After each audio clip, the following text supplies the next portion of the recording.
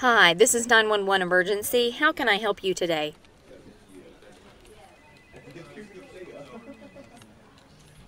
Okay, ma'am. Well, this sounds like a situation where we need to transfer you to the kids' police station. Can you hold on for just a moment?